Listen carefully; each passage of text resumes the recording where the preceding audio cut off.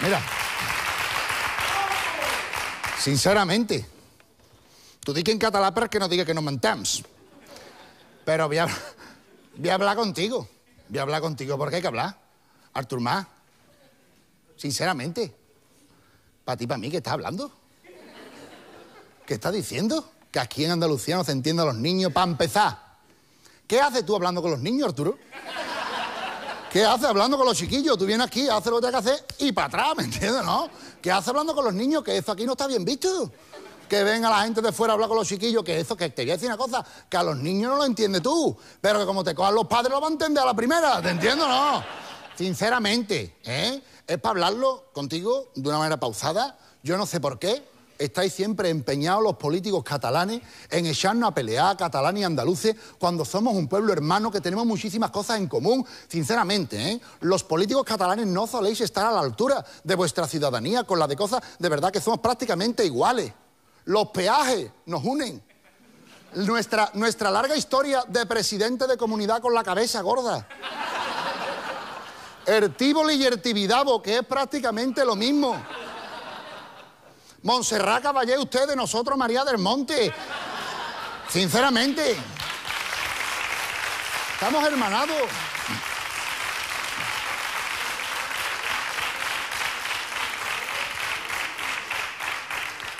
Somos, somos pueblos hermanos, más que hermanos, primos hermanos, ¿vale?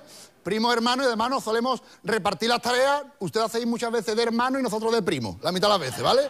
Pero ahí estamos, de verdad, que fíjate, Artur, dices es que no se entiende a los niños andaluces. Espérate, ¿con qué niño has hablado tú? Coja niño del tambor y lo entiende, te aburre, pero lo entiende. Dice, no, es que no entiendo el andaluz, es que ajo, ajo, cucutata no es andaluz, ¿me entiendes, no?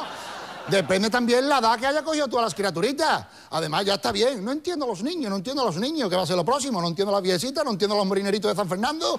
¿eh? ¿Qué va a hacer? Cuidado por dónde está tirando Arturo, sinceramente. ¿eh?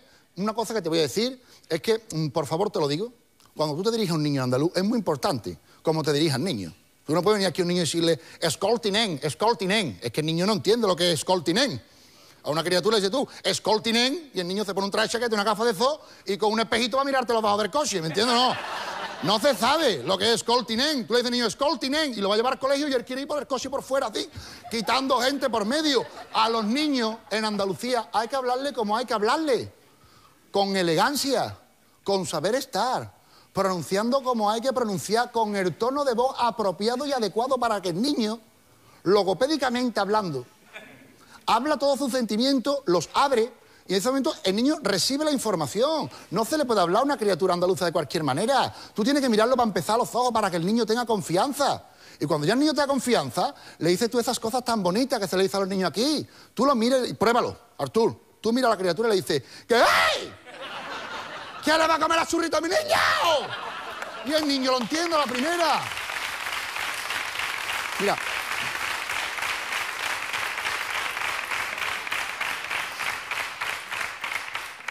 La importancia de saber dirigirse a los niños eh, es mucha. ¿eh? Esa sensibilidad de saberse dirigir a esos niños que son el futuro de nuestras comunidades y el futuro del mundo entero no lo tiene cualquier persona. Te vamos a dar teléfono, te vamos a poner en contacto con Juan y medio. ¿Vale? Que Juan y medio es otra cosa, ¿no? ¿eh? Pero Juan y medio, cómo entiende a los niños, cómo entiende a los mayores. La madre está muy preocupada de Juan y medio. Y se lo dice, dice, Juan, hijo, cuando te vas a amiguito de tu edad, hijo? Está nada más, Juan y medio tiene en su casa nada más Suni Delay y Bitter K, por si le viene, por si le vienen los colegas. Y mucho pasapuré, todo el que viene sin diente. Venga, vámonos, vámonos. Mucho pasapuré. A la madre preocupada. A la madre.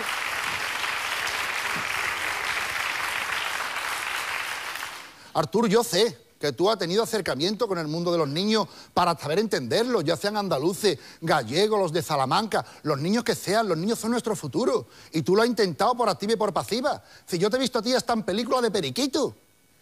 ¿No sabes lo que es Periquito? Pues mira, dime si no eres tú este, porque yo te veo toda la misma cara que el muchacho este, míralo. Ahí lo tiene haciendo de príncipe en Shrek. Dime tú a mí que la criatura no tiene la misma cara. A ver si ahora mismo, espérate que me voy a Cataluña por la foto. Va a tardar, ¿no? Ya, pues nada, pues vamos a seguir comentando. ¿Qué hacemos? ¿Hablamos de la boda de la duquesa? Ahí lo tiene. No me digas tú a mí que no es... Hombre...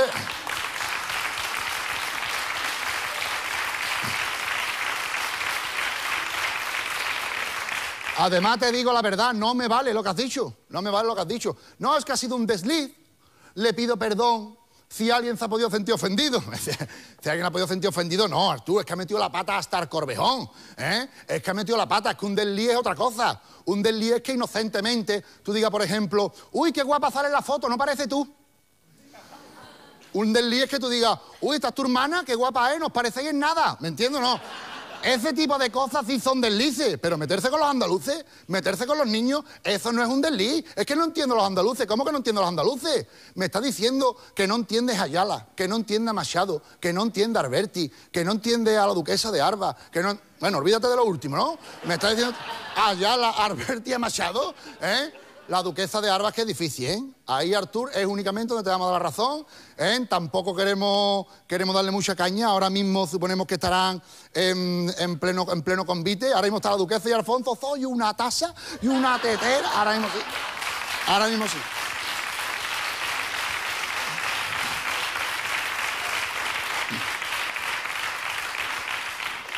Hay que estar muy pendiente porque tú la duquesa, como habla la pobre, ya no vamos a hablar del sprint, que es un chiqui precio, pero de cómo habla hay que estar muy pendiente porque muchas veces el idioma te juega malas pasadas.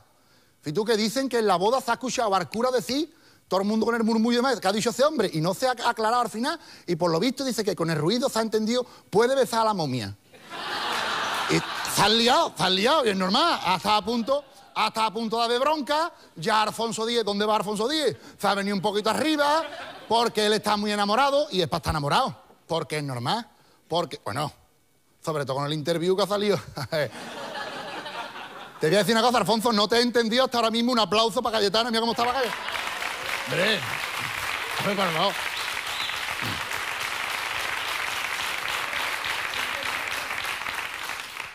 Y dicen que el educado es malo para los pulmones. Pues te voy a decir una cosa. Estás sentado estupendamente en Cayetana. Muy bien, ¿eh? Te has tropeado mucho, pero de verdad, ¿eh? Hace 30 años la foto la ha sacado Interview ahora. Interview ha estado dos o tres veces a punto de perderle el dinero a la foto, ¿eh? Te la has jugado, la ha aguantado un montón, ¿eh? Al final, al te ha salido bien, pero ha estado dos tres veces a punto de decir, tira la foto que ya no va a valer. Señores, qué cosa más bonita. ¿eh? La verdad es que nos ha sorprendido a todo el mundo. Artur Mar primero, la portada de Interview que yo para ti, para mí. Yo creo que es lo que lleva Alfonso Díez en la cartera.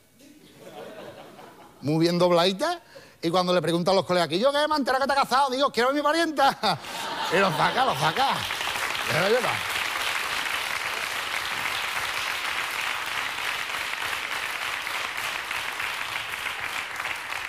No todo el mundo ha ido a la boda, ha faltado su hija, Eugenia, porque dice que le ha varicela. De 40 años ya, Eugenia. No me creo de la varicela, pero comprendo. La comprendo porque no hay cosa que dé más vergüenza que una madre en una boda. Yo no sé quién le ha dicho a ella que te echen la música que te echen, se baila todo así con los coditos. ¿Eh? Pero ella así, y tú lo que le eches, más reggaetón, da igual, pero entra por aquí, mira. Y ella se echa el. Pues imagínate,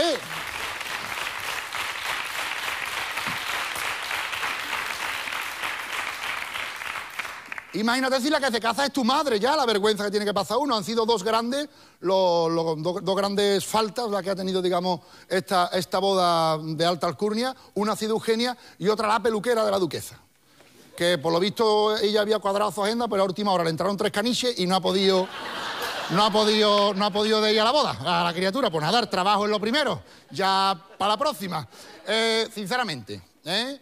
eh creo que hoy vamos a poder eh, hacernos un huequecito en, la boda, en la boda de la duquesa, eh, pero tenemos a Alfonso eh, preocupado, mm, igual que estamos nosotros por él, no sabemos cómo se va a tomar Alfonso esta primera noche de boda, sí sabemos y ya está confirmado que Carmen Tello va a estar con ellos en, la habitación, por si hay que cambiarla de postura. Venga, ahora perrito, y ya Carmen Tello va poniendo, eso sí está confirmado.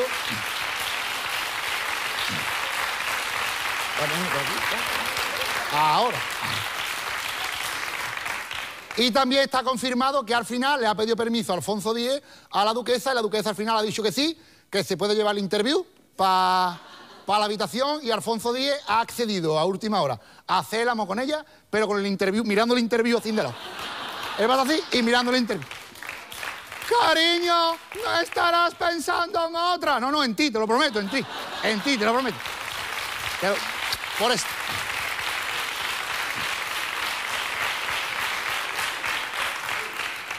Yo, sinceramente, también entiendo que hablando como habla de nosotros los andaluces, no te hayan invitado, Arthur, a, la boda de, Doña Cayetana. A mí sí, pero mira qué mala suerte también que nos haya cogido un miércoles. Y no hayamos podido hacer un hueco. Pero no pasa nada, no pasa nada. Para la próxima boda de la duquesa, si Dios quiere, pues ya, ya tú también, Arthur. No te preocupes, no hay 354. Además va, a durar la duquesa 200, 300 años más, ¿eh? casi el doble de lo que tiene. Y no te preocupes, ya otra vez lo que tienes que tener cuidado y no mete la pata. mete la pata, sinceramente, es muy fácil.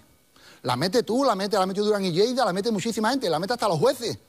Ha salido el juez del Olmo que ha revocado una sentencia porque dice que lo de llamar zorra a una mujer, que no es nada malo, que es llamarla animal astuto. Sinceramente, juez Olmo, no me imagino yo a usted cuando le traen sus niñas las notas a fin de curso y dice, muy bien, chicas, qué par de zorritas estáis hechas. No me lo, no me lo quiero imaginar, ¿eh? Yo... Cada vez os parecéis más a la zorra de tu abuela. Hay que tener cuidado, juez Olmo, con las pamplinas que se dice muchas veces.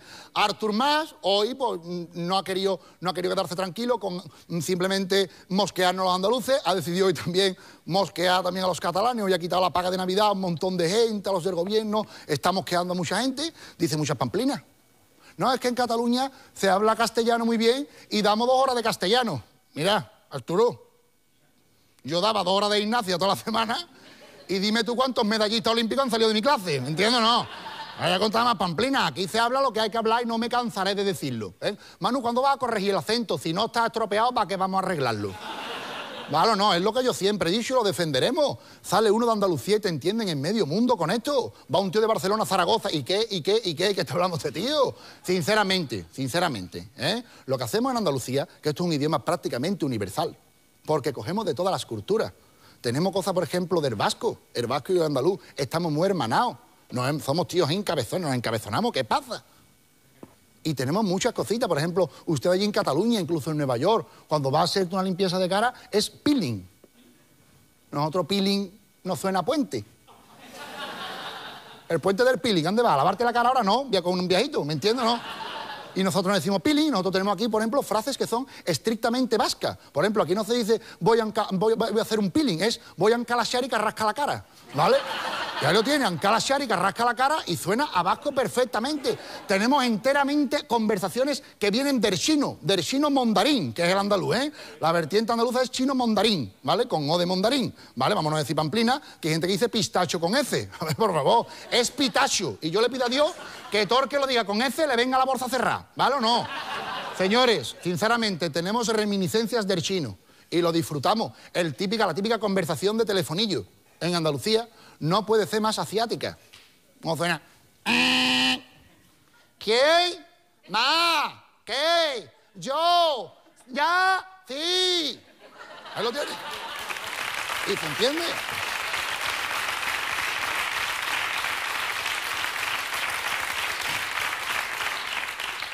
¿Quién?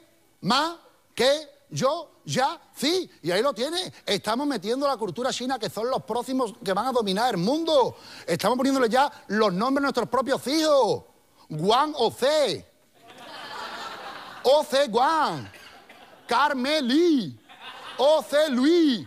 Estamos adaptándonos a pasos agigantados. Tenemos, por supuesto, grandes reminiscencias también del idioma andalucí momento de máximo apogeo de la cultura universal con al-Ándalus. Grandes palabras, grandes conceptos. Almohada, alcantarillado, alfajor. Todavía en la actualidad construimos frases y oraciones completas desde el mundo andalucí. Por ejemplo, al turmá, al favor tal carajo. ¿Eh? Muy bien. Nada.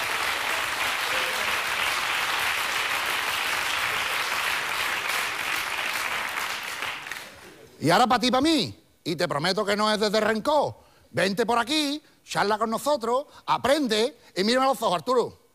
Para ti, para mí. No me dé más vueltas, Que para mí que tú entiendes de chico.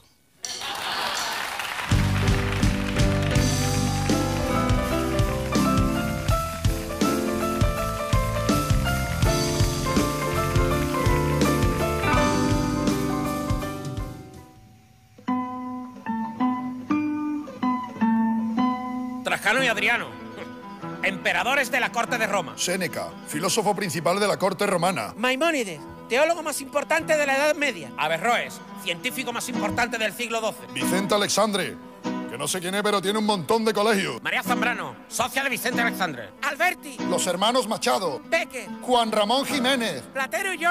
genios de la literatura universal. Primera escuela de traductores europea. Y germen del Renacimiento. Primeros en números de trasplantes. Rita Hayworth, de Castilleja de la Cuesta. Velázquez, Murillo. Antonio Banderas, protagonista de Spite Kids 1 y 2. Pablo Picasso, pintor cubista. Creador del Guernica. Y Calvo. Los del Río, 30 semanas consecutivas número uno de la lista Billboard. Clinton bailó la Macarena. Y vino a Granada. Paco de Lucía. Joaquín Sabina. Isabel Pantoja. ¿No me vas a grabar más? María Teresa Campo, madre de Terelu. Rocío Jurado. El que ganó el primer gran hermano.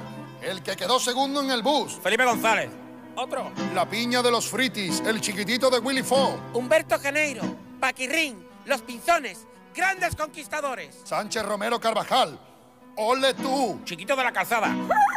La patina agosto, la calapetama. Lopera, filósofo contemporáneo. Hemos nacido cerca y hemos llegado lejos. Y seguiremos llegando donde nos dé la gana. Orgullosos de ser andaluces.